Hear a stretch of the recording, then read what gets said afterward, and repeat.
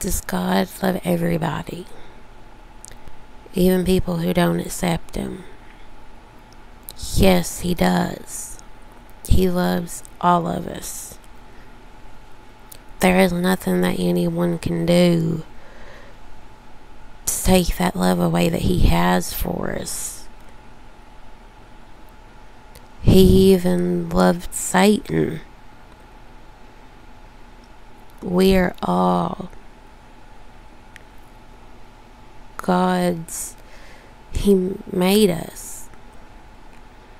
He loves us all, but He wants us to do the right thing.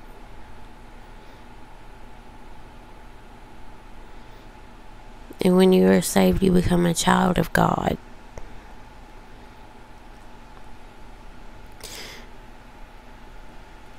He loves even the people that sometimes some of us can't understand how.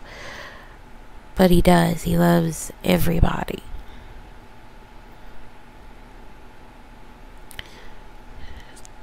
There is not one person that He doesn't love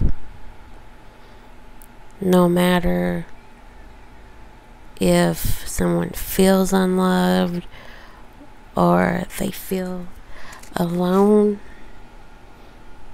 they're not alone because God is with us all.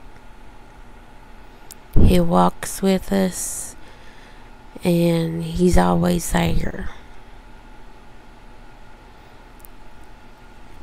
There's nothing that we can do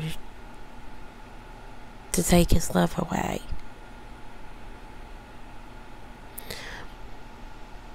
But we have to accept him.